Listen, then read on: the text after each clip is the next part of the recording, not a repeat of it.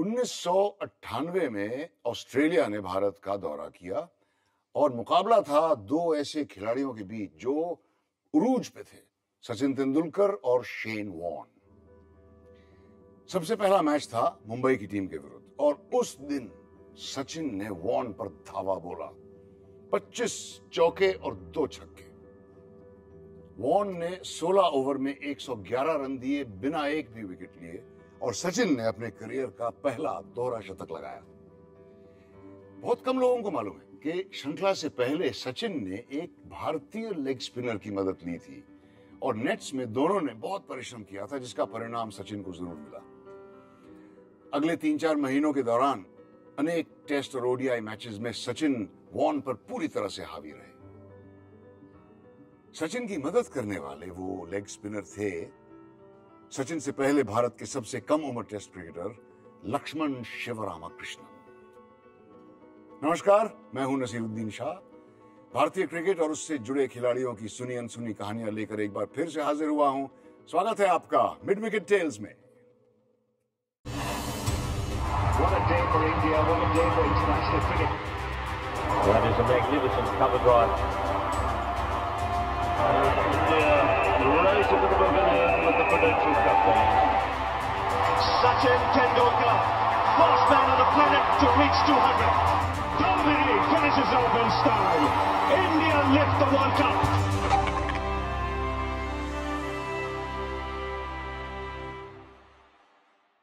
उन्नीस में एक छोटी सी पतली सी जिम्नास्ट ने खेल जगत को दंग कर दिया मॉन्ट्रियल ओलंपिक्स के अनीवन बाज प्रतियोगिता में उसने 10 में से 10 अंक प्राप्त किए। ये पहले कभी नहीं हुआ था। ये एक 15 वर्षीय रोमानियन जिम्नास्ट थी, नादिया कॉमनेची। महज एक बच्ची ही थी, लेकिन उसने परिपूर्णता हासिल कर ली थी। खेल जगत में कई ऐसे सितारे रहे हैं। शरीर में पूरी तरह से परिपक्वता आने से पहले ही वर्ल्ड चैंपियन बन गए। Pele, Boris Becker, Tiger Woods, Viswanathan Anand दोस्तों, आज हम बात करेंगे भारतीय क्रिकेट में आए कुछ टीन सेंसेशंस के बारे में।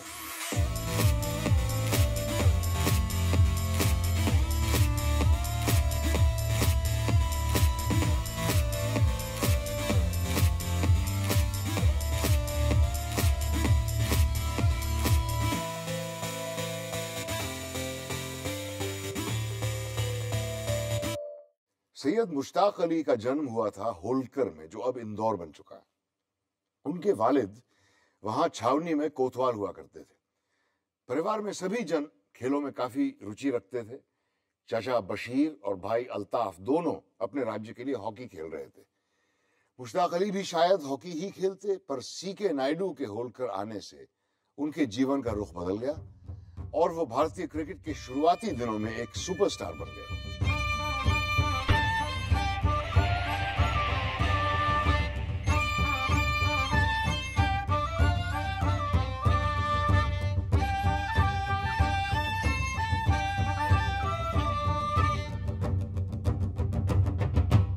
1926 के अंदर तुकोजी राव महाराज, जो यशवंत राव जी के फादर थे, उन्होंने कर्नल सी के नायडू साहब को इंदौर बुलाया।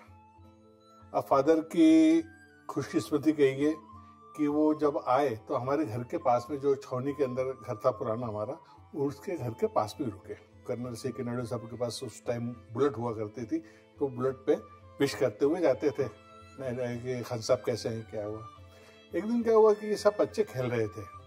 वहीं पर अभी स्टेट बैंक ऑफ़ इंडिया है, उसका उधर एक मैदान हुआ करता था। तो नायडू साहब ने अपनी गाड़ी रुका के, खड़ी करके बच्चों को देखने लगे।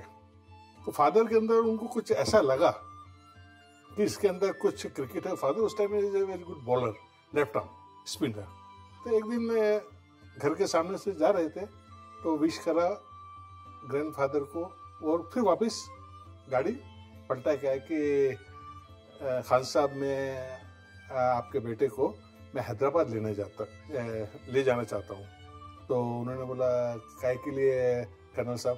बोले कि वहाँ पर एक बहुत बड़ा टूर्नामेंट होता है, और उसमें बाहर के भी काफ़ी प्लेयर आते हैं तो मैं चाहता हूँ कि ये मुश्ताक जो है, मेरे साथ। तो अगर ग्रैंडफादर फादर बोलते कि नहीं, अगर कहाँ लेके जाएँगे, और छोटा बच्चा है क्या?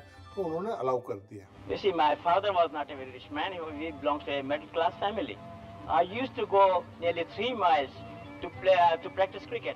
Then, when Kal Naidu came from Nagpur in 1926, his Highness offered him a job, and then he saw me playing cricket with uh, Maharaja Yashwantrao Holkar. Got a job as ADC, and that's how I started playing cricket.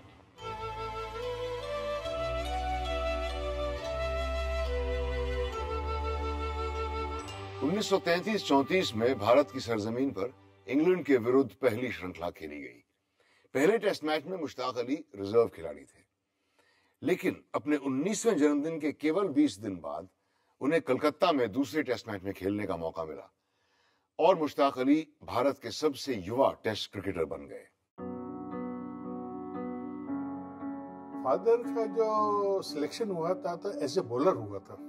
और जब 1936 के अंदर जब England गए और किसी match के अंदर कौन अपने साइड गेम के अंदर वो खेले और अपने महाराज विजयनगर में बोला कि ठीक है मुश्ताक, आप वन डाउन जाइए या ओपन कर ली तो वहाँ जाके उन्होंने जिस क्लास से जो क्रिकेट जो खेलते थे अपना फास्ट क्रिकेट तो वहाँ के लोगों को लगा कि यार ये कुछ ना कुछ चीज़ एक्स्ट्रा ऑर्डिनरी है। All Indian cricketers are in the picture before the start of the first match of their 1936 tour, the charity game against a scratch 11 under Titch Freeman. Mushtaq Ali को बल्लेबाजी के क्रम में ऊपर भेजा गया और ये निर्णय काफ़ी सफल साबित हुआ। टेस्ट मैचेस से पहले उन्होंने फ़र्स्ट क्लास मैचेस में चार शतक लगाए। पहले टेस्ट में उन्होंने तीसरे नंबर पर बैटिंग की। और दूसरे टेस्ट मैच में विजय मर्चेंट के साथ बैटिंग ओपन की। पहली इनिंग्स में भारत तीन सौ अड़सठ रनों से पिछड़ चुका था। तब मुश्ताक अली ने इंग्लिश बॉलर्स पर जवाबी आक्रमण किया। अपने निराले अंदाज में उन्होंने एक के बाद एक गेंद को सीमा के बाहर भेजा और विदेशी ज़मीन पर सैकड़ा जमाने वाले वो पहले भारतीय खिलाड़ी बने।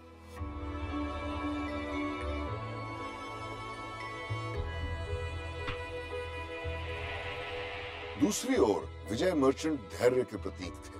उन्होंने भी सैकड़ा जमाया। दोनों ने मिलकर 203 रनों की साझेदारी रची और भारत को सुरक्षित ड्रॉ की ओर ले गए। इनकी सलामी जोड़ी भारतीय क्रिकेट इतिहास में सबसे उम्दा जोड़ी मानी जाती है। बड़ा एंटरटेनिंग क्रिकेट खेलते थे। टोटली जो आजकल हम वनडे में देख रहे हैं वैसा क्रिकेट वो तीन दिनों में खेलते थे। बॉल इसको मारना है। भले स्टम्प पे हो या बाहर पे हो।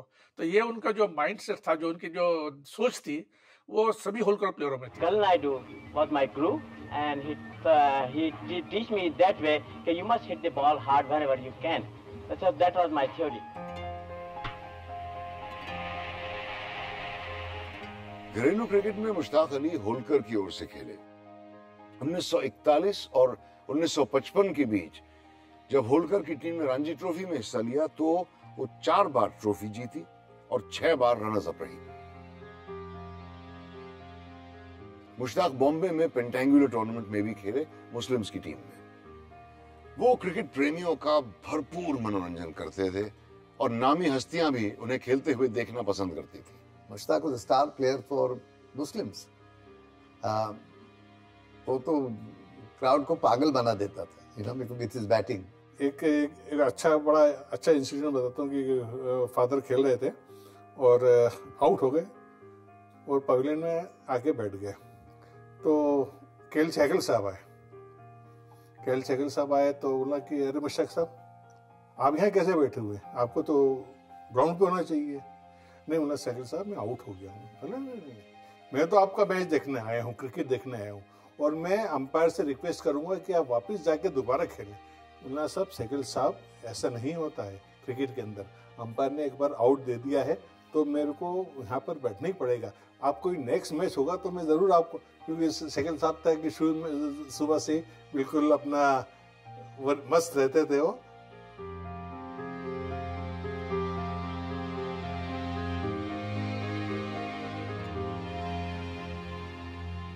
1945 में ऑस्ट्रेलियन सर्विसेज़ के विरुद्ध कलकत्ता में भारत एक अनऑफिशियल टेस्ट मैच खेल रहा था। मुश्ताक उस मैच में रिज़र्व खिलाड़ी थे। दर्शकों की भीड़ इस फैसले से नाराज़ थी और जिद पकड़ के बैठ गई कि मुश्ताक को टीम में लिया जाए। नो मुश्ताक, नो टेस्ट के नारे सारे स्टेडियम में गूंज उठे। कुछ दर्शकों ने तो चयनकर्ताओं के चेयरमैन दुलीप सिंह जी के साथ हाथापाई भी की। और आखिरकार मुश्ताक को टीम में शामिल करना ही पड़ा। 1947 में मुश्ताक अली को ऑस्ट्रेलिया दौरे के लिए उप कप्तान घोषित किया गया, मगर अफसोस उनके भाई के इंतकाल की वजह से वो इस दौरे पर नहीं जा सके। उन्नीस में भारत ने टेस्ट मैच में पहली बार जीत का स्वाद चखा और उसके साथ 38 वर्षीय मुश्ताक ने अंतर्राष्ट्रीय क्रिकेट को अलविदा कह दी। We met Syed Mushtaq Ali when he was in his 60s at the Brabant Stadium when a benefit match was arranged in his honor.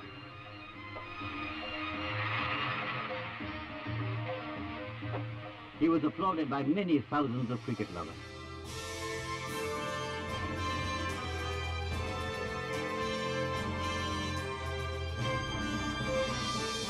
उस जमाने में 20-22 की उम्र से पहले बहुत ही कम खिलाड़ी उभर के आते थे तो जब 1955 में 17 वर्षीय विजय मेहरा को भारतीय टीम में चुना गया, काफ़ी सनसनी मच गई थी।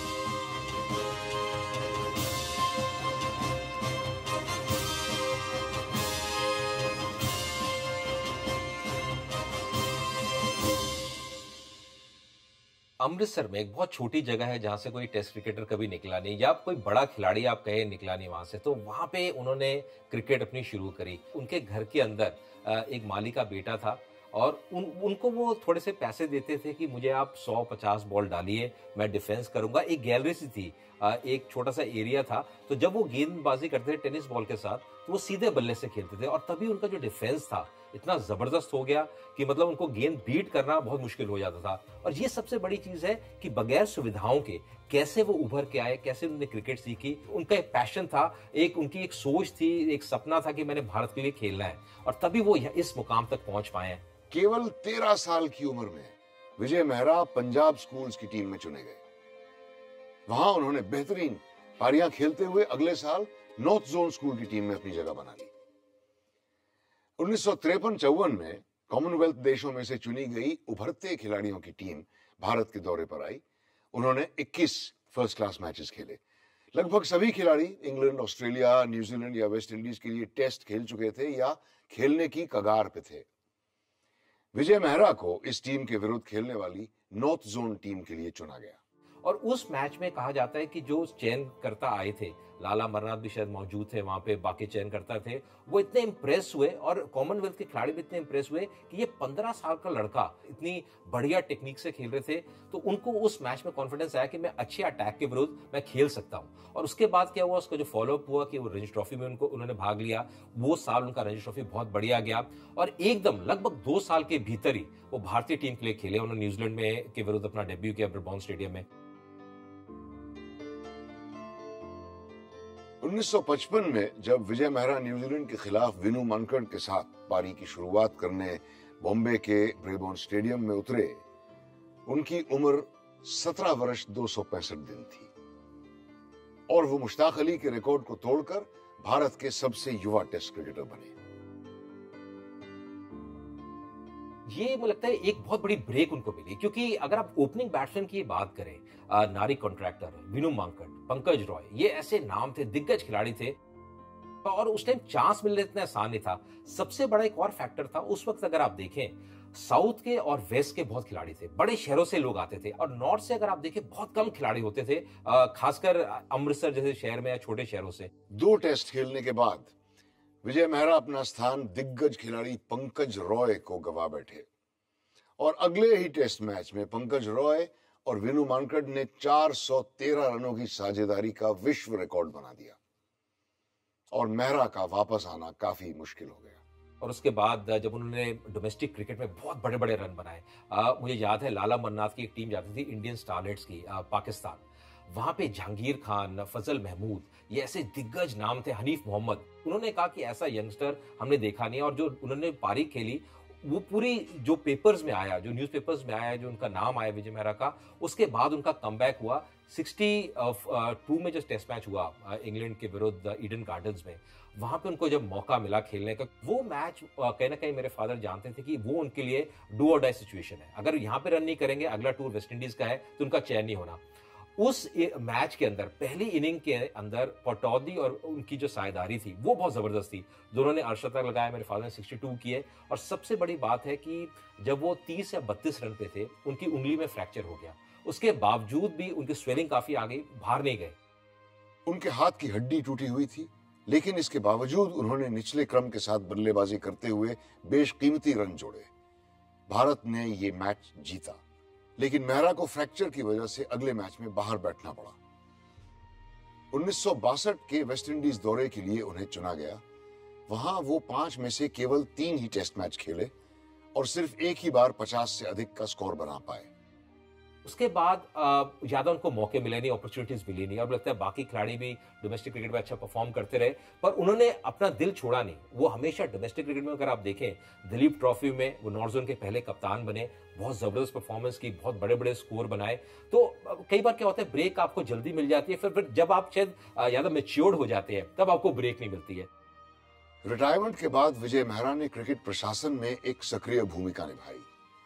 1975 से बयासी तक वो राष्ट्रीय चयनकर्ता के रूप में अपना योगदान देते रहे। वो उत्तर भारत के सबसे लंबे समय तक बने रहने वाले चयनकर्ता थे। मेहरा ने ऑल इंडिया रेडियो और दूरदर्शन पर कमेंटेटर बन अपने मजाकिया अंदाज से काफ़ी नाम भी कमाया। विजय मेहरा का यंगेस्ट इंडियन क्रिकेटर का रिकॉर्ड काफ़ी समय तक कायम रहा। 27 साल बाद, सन 1982 में आखिरकार किसी ने इसे तोड़ा और उसके बाद चार महीने के अंदर ही ये रिकॉर्ड फिर से टूटा। 1980 के दशक की शुरुआत में हमारे स्पिन क्वार्टेट के चारों बेदी प्रसन्ना, चंद्रशेखर और वेंकट एक एक करके रिटायर होने लगे। उन्होंने लगभग 15-18 साल तक एक साथ क्रिकेट खेला था। अब उनकी जगह एकदम से खाली पड़ गई और स्पिन बॉलर्स की उत्सुकता से तलाश हो रही थी। दिसंबर 1982 में अगला बेदी कहे जाने वाला मनिंदर सिंह ने डेब्यू किया। उनकी उम्र थी सत्रह वर्ष, एक सौ तिरानवे दिन।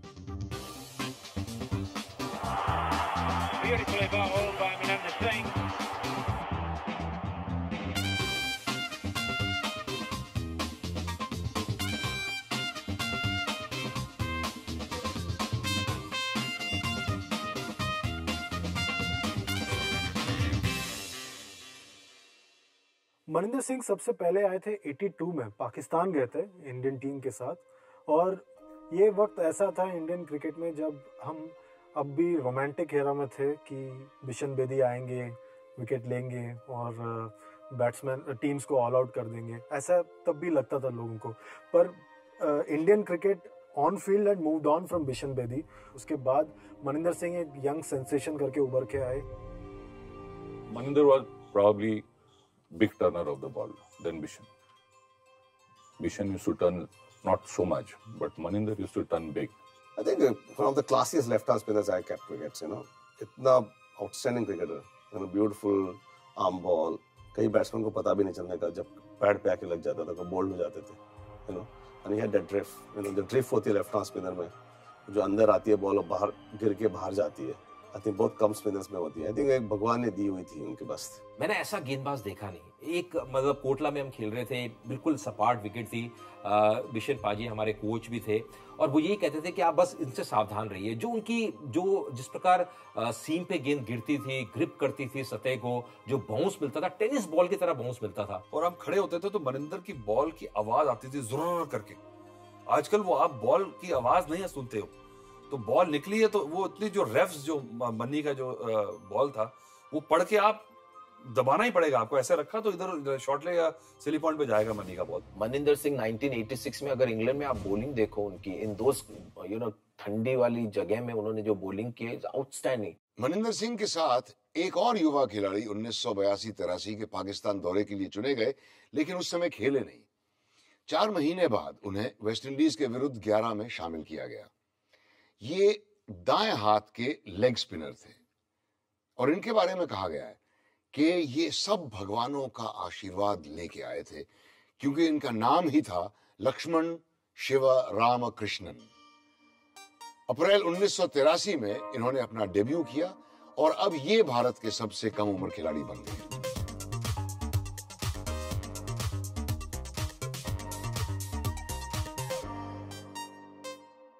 Shivaram Krishna had a beautiful action. Very simple, very nice, you know, nice loop. He could read the batsman's mind, and he had a beautiful parabola of the ball. He had a very good loop. He could keep the batsmen dancing and keep them guessing at the same time. Bombay में पहले test match जो हुआ था England के खिलाफ उन्होंने 12 wicket लिए फिर उसके बाद 6 विकेट लिए उसके following test match Shiva three six wicket hauls, you know, consecutive उन्होंने लिए. So his bowling was unplayable for the Englishman. और उसके बाद वर्ल्ड चैंपियनशिप ऑफ़ क्रिकेट जो हुआ था ऑस्ट्रेलिया में वहाँ पे गावस्कर के अंडर उन्होंने अच्छा परफॉर्मेंस किया। जिस तरह की काबिलियत उनके पास बॉलिंग में थी लग रहा था कि जो क्वार्टेट जो निकला है भारतीय स्पिनर्स का अगर उस टॉर्च को कोई आगे कैरी फॉरवर्ड कर सकता है तो वो एलएस और मनिंदर सिंह एक और ऐसे यू नो उभरते हुए सितारे थे। आपको लग रहा था ये आगे बढ़ा सकते हैं इस, इस दबदबे को? मनिंदर सिंह और लक्ष्मण शिवरामकृष्णन दोनों ने आते ही क्रिकेट प्रेमियों के मन में उम्मीद भर दी थी। महज सत्रह अठारह साल की उम्र में उनका प्रदर्शन काबिल तारीफ़ रहा। लेकिन फिर सवाल ये उठता है कि आखिर हुआ क्या? वो भारतीय क्रिकेट के लेजेंड क्यों नहीं बन सके? आ, कितने नाम मैं लूँ जो 16-17 साल की उम्र में आए? इंडिया भी खेले बहुत अच्छा खेले बहुत बढ़िया खेले पर जिस तरह की उम्मीद थी कि 30-35 तक खेलेंगे नहीं खेल पाए।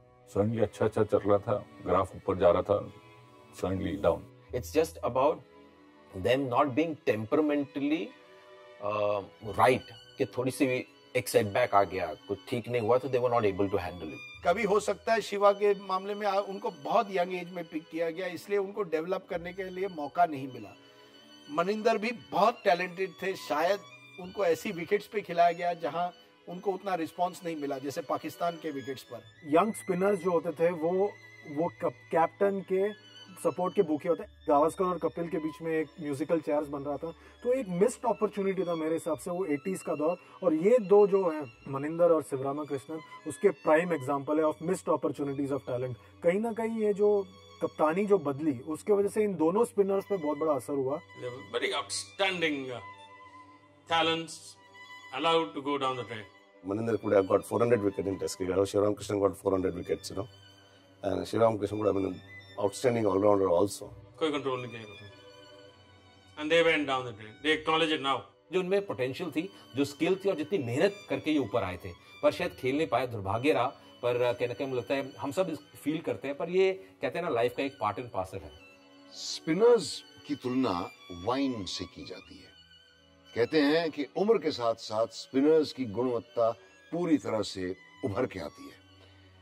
तो क्या भारत ने इन खिलाड़ियों को खिलाने में ज़्यादा जल्दी कर दी थी? लक्ष्मण शिवरामकृष्णन और मनिंदर सिंह दोनों की कहानी कुछ अधूरी रह गई। पर एक और टीनेज सेंसेशन थे, जिनकी कहानी बहुत ही ऐतिहासिक महाकाव्य हमारे लोक साहित्य का हिस्सा बनने वाली थी। अर्जुन के पास ऐसे हुनर थे कि कम उम्र में ही पाँचों पांडवों में उन्हें खास माना जाता था। किसने वो कहानी नहीं सुनी जिसमें गुरु द्रोणाचार्य ने उन्हें नदी पार एक चिड़िया पर निशाना लगाने को कहा और अर्जुन की निगाहें सिर्फ़ चिड़िया की आँख पे गड़ गई।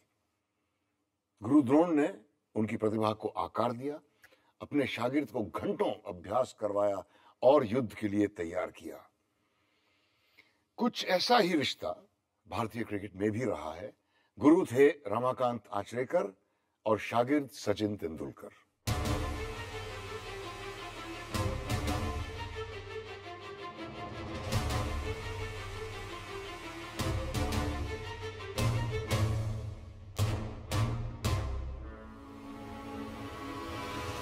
उम्र की इतनी बात नहीं होती जितनी एक्सपीरियंस की होती है। How many balls you have played in your life you know how much cricket you have played तो ये आचरेकर सर की थियोरी होती थी कि सुबह उठ के मैचेस खेलो एवरी डे मैचेस खेलो। आचरेकर सर का एक ये था कि आपको कहीं भी मैं कभी भी मैच को लेके जाऊँ तो हमारे पास एक किट बैग होती थी स्कूल के स्कूल के एक बैग और हमेशा जो भी टीचर हमें पढ़ा रहा है, उसके पाँच पाँच मिनट के बाद हम दरवाजे के पास देख रहे थे। कि अभी सर आएँगे, अभी सर आएँगे। तो उनका एक था कि हमेशा स्कूल के टाइम जितना ज़्यादा मैच खेलने का मौका हमें मिले, ये वो देखते थे। उन्नीस सौ सत्तासी में स्कूल के मैच खेलते हुए सचिन ने पाँच पारियों में हज़ार से ऊपर रन बनाए। इनमें से एक था हैरिस शील्ड का सेमीफाइनल, जहाँ उन्होंने अपने स्कूल मेट विनोद कामली के साथ छह रनों की साझेदारी का विश्व रिकॉर्ड बनाया इसके बावजूद उन्हें बेस्ट स्कूल बॉय क्रिकेटर का अवार्ड नहीं मिला। लेकिन हज़ारों बेशकीमती पुरस्कार मिलने अभी बाकी थे। सुनील गावस्कर ने उन्हें प्रोत्साहन देने के लिए एक चिट्ठी भेजी, जिसमें उन्होंने लिखा था कि वो भी अपने समय इस पुरस्कार से वंचित रहे थे। उस समय के भारतीय कप्तान दिलीप वेंगसारकर ने सचिन को अपना बैट भेंट किया। सचिन को बैटिंग करने लेके आए थे दिलीप वेंगसर का नेट में और इंडियन टीम के फास्ट बॉलर को खेल सकता है कि नहीं तो कपिल देव को मनोज प्रभा को सबको उसने बैटिंग किया उस जमाने में इतने क्लासी बैटिंग किया वो नेट में उसने brilliant. I think he was exceptional talent right from beginning. 15, 16 years का था तभी. And for that, uh, he was very matured. He was extremely strong, uh, also physically also. और जब भी हम बैटिंग करते थे तब मुझे याद है कि पीछे खड़े रह के हमेशा पूछते थे, आपकी बैटिंग हो गई वो बार बार पाँच और दस मिनट में मतलब उनको ये था कि मैं कब अंदर जाता हूँ और मैं कभी बैटिंग करता हूँ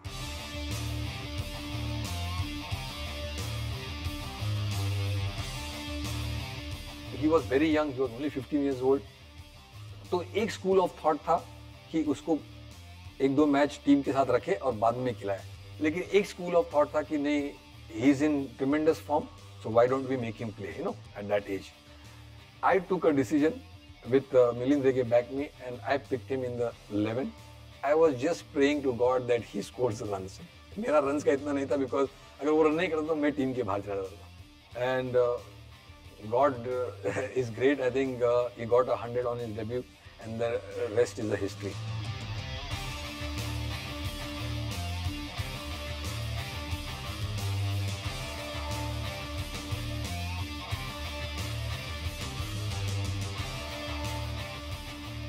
Sachin Tendulkar first class debut पर शतक लगाने वाले सबसे कम उम्र भारतीय क्रिकेटर बने।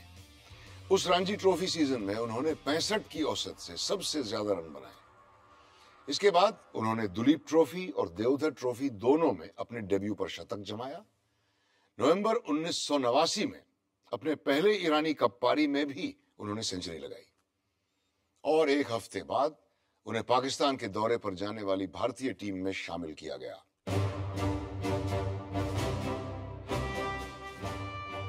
इतना छोटा बच्चा पाकिस्तान आता है और एक टीम का माहौल ही बदल गया। School boy cricketer very noisy the dressing room very witty बड़ा शाही किस्म का था वो बहुत शाही था और but very confident cricket field में जो कॉन्फिडेंस था मैंने ऐसा कॉन्फिडेंस किसी के पास किसी बच्चे के पास देखा नहीं।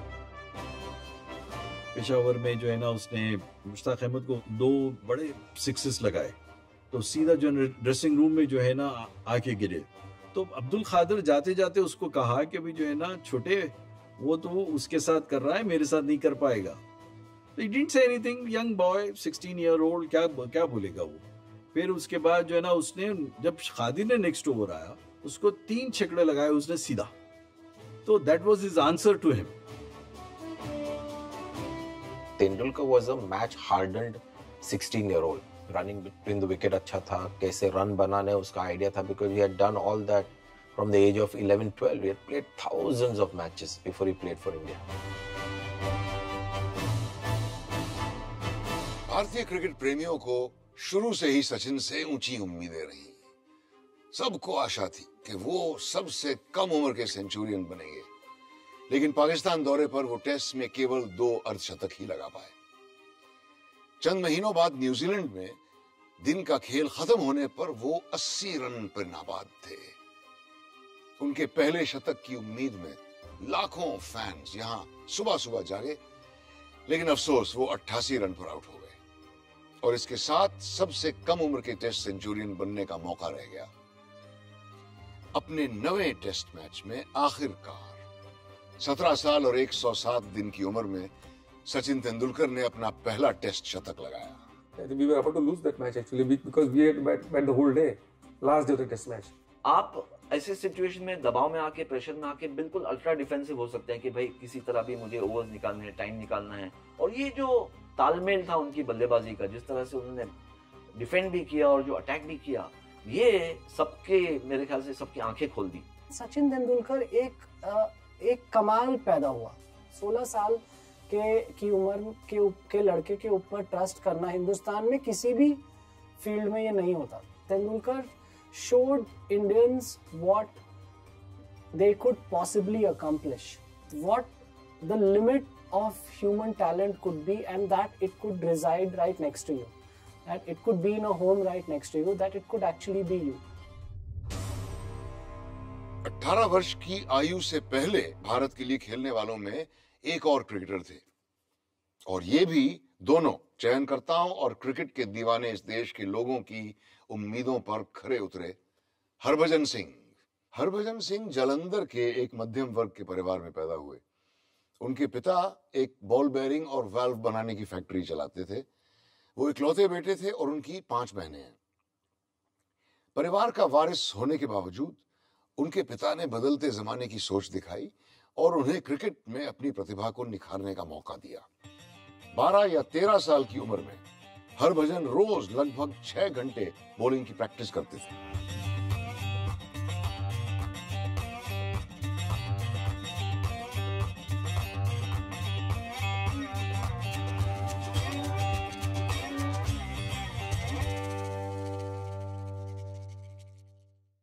हरभजन का ही केम फ्रॉम जलंधर, वो जलंधर से आया। और जब बम्बई टीम वहाँ गई थी विल्स ट्रॉफी खेलने के लिए। तो बॉम्बे टीम में आके प्रैक्टिस कर रहा था। यंग सरदार, एकदम पतला सा 16-17 साल का होगा। बॉलिंग कर रहा था वहाँ पर और लग रहा था कि कुछ अलग टैलेंट है। Vinod Kambli was one of the best players of spin और वो इस लड़के को छक्का मारने की कोशिश में दो तीन बार आउट हो गया। ऐसे निकल के मारने जाता था और बॉल ऊपर चली जाती थी। Every time that bowler was deceiving Vinod Kambli तो सबकी नज़र फिर उस बॉलर पे पड़ी, हरभजन सिंह। बलविंदर सिंह संधू जो बॉम्बे के कोच थे उन्होंने उसको बोला कि तुमको पंजाब में कोई लेता नहीं है तो तुम बॉम्बे आ जा। So Balwinder was trying to get him to come and play for Mumbai. वो उसने टिपिकल सब सुना होगा और हमने देखा कि थोड़े महीनों में पंजाब ने उसको खिला दिया। उसको लगा कि ये बॉम्बे जाएगा उन्होंने इमीडिएटली उसको पंजाब की टीम में ले लिया। तो उस मैच में सर्विसेज़ से मुझे याद है, मैं मैच में खेल रहा था और उसमें उनका डेब्यू हुआ हरभजन का फ़र्स्ट क्लास क्रिकेट में। और जो मैं नेट्स में उनको देखता था, बहुत छोटे थे, पर जिस कंट्रोल से और जो जिप होती थी उनकी गेंद में, जैसे वो एक भागते थे और जिस प्रकार एक लूप लेते थे और जो जिप थी उनकी गेंद में, वो बहुत कम थी। और सबसे बड़ी जो उनकी बात थी कि अगर उनको तीन विकेट मिला, मिले तो उनको चाहिए थे चार। चार मिले तो पाँच पाँच मिले तो सात couple of years later even shorter than that playing for India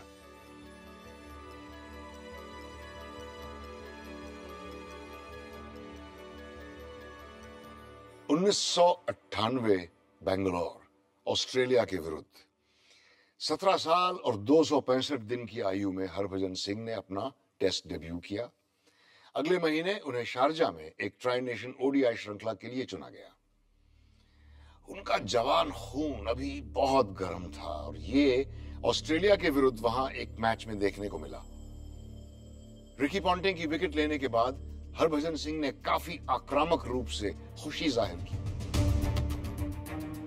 well. And there goes the celebration. Off you go, he says. And of course, look at Ricky. Why wouldn't he respond? शुरू से ही उनका fire in the belly तो था ही लेकिन वो fire जो है उनको पर्सनालिटी में भी ट्रांसफॉर्म हो गया था बहुत लड़ाई झगड़े करते थे रेबल थे ब्रैश थे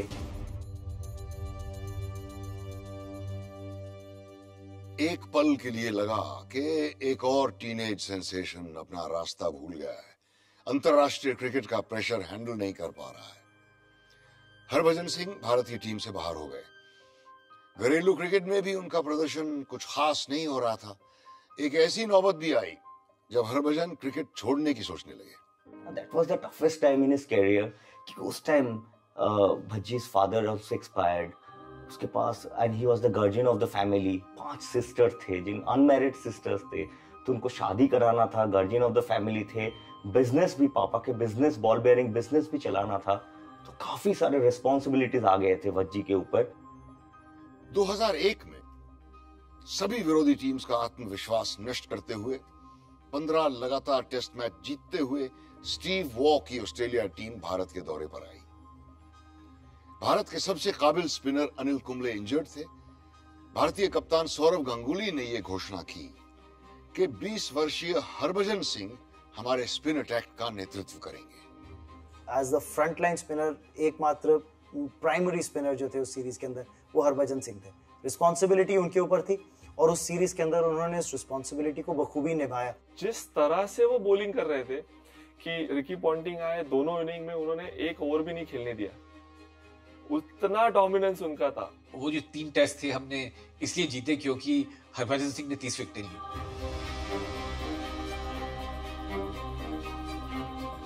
एक bad boy of Indian cricket जिस तरह से हीरो बने उस सीरीज़ में वो एक उस सीरीज़ का हाई पॉइंट था।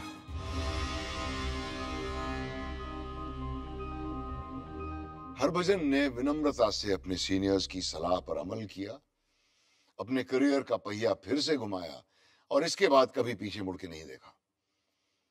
जैसे जैसे उनकी उम्र बढ़ी, उनका उत्तेजित स्वभाव भी शांत हो गया। वो सौ से अधिक टेस्ट मैचेस खेल चुके हैं और अंतरराष्ट्रीय क्रिकेट इतिहास में सबसे अधिक विकेट लेने वाले दूसरे नंबर के ऑफ़ स्पिनर हैं। नई शताब्दी में भारत मैच फिक्सिंग के स्कैंडल से बाहर निकल रहा था।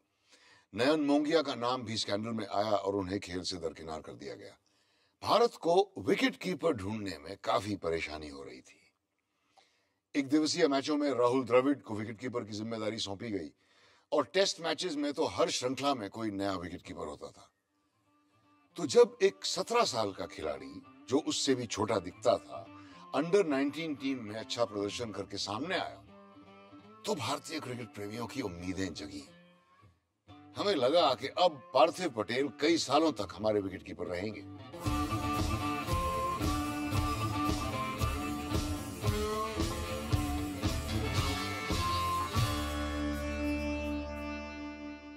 Parthiv Patel I think again जब आए थे उन्होंने काफ़ी करेज दिखाया था। एक टेस्ट मैच बचाया था इंडिया के लिए 2002 में अपने पहले सीरीज़ में। जो पार्थिव ने दो चार पाँच टूर किए और परफॉर्म किया it was quite remarkable I think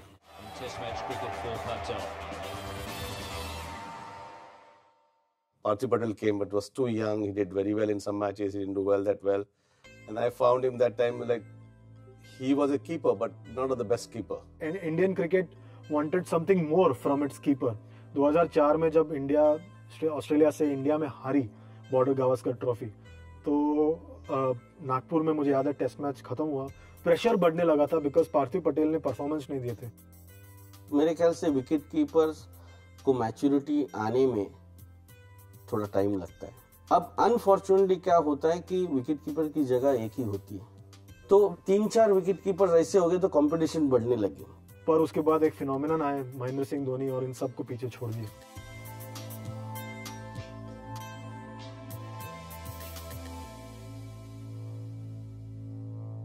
पार्थिव पटेल अपने आप को कुछ हद तक बदकिस्मत समझ सकते हैं। उन्हें जगह भारत के सबसे सफल कप्तान और विकेटकीपर बैट्समैन के लिए छोड़नी पड़ी। लेकिन उनका अभिनाम टीनेज सेंसेशंस की लंबी सूची में आ गया। जिन्होंने शायद अपना पूरा पोटेंशियल रियलाइज़ नहीं किया। एक्चुअली ये इंटरेस्टिंग टॉपिक है कि कब ब्रेक देना चाहिए।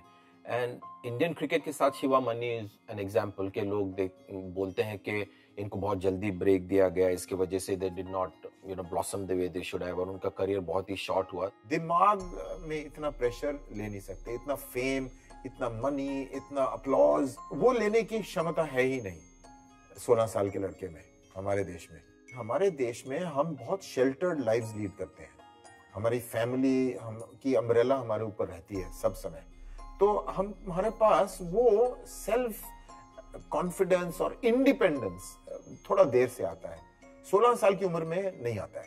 Every individual relates to early success in a different way you have many examples in the film world both in Hollywood and Bollywood of youngsters burning out in the teen years Child stars rarely become major stars in their adulthood. So perhaps there is some common psychological reason for the entertainment world. After all, sports is also entertainment. एक ही exception है इस पूरे सूची में वो है सचिन तेंदुलकर वही एकमात्र खिलाड़ी थे जिन्होंने अंत तक खेला देखिए सचिन सचिन तेंदुलकर अपने आप में एक एक्सेप्शन है। सचिन तेंदुलकर को हमें एक अलग लीग में रखना चाहिए, जैसे ऑस्ट्रेलिया डॉन ब्रैडमैन को रखता है। तेंदुलकर एक बहुत ही यूनिक स्पेसिमन है, जिनको जिनको समझने के लिए मेरे ख्याल सबको 40-50 साल वेट करना चाहिए कि उनका क्या रियल इम्पैक्ट हिंदुस्तान पर हुआ मोर देन इवन हिंदुस्तान के क्रिकेट पर हुआ।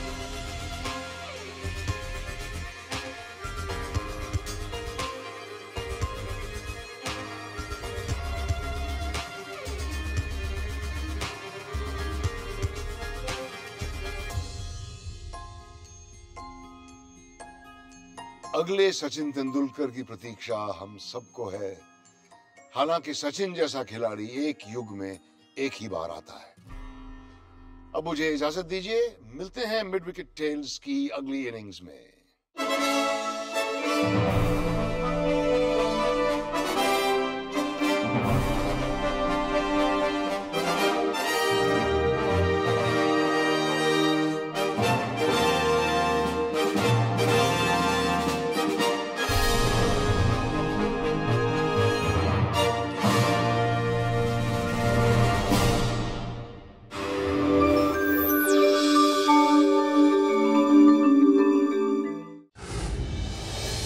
Like, share, subscribe, and click on the bell icon to never miss an update from Epic.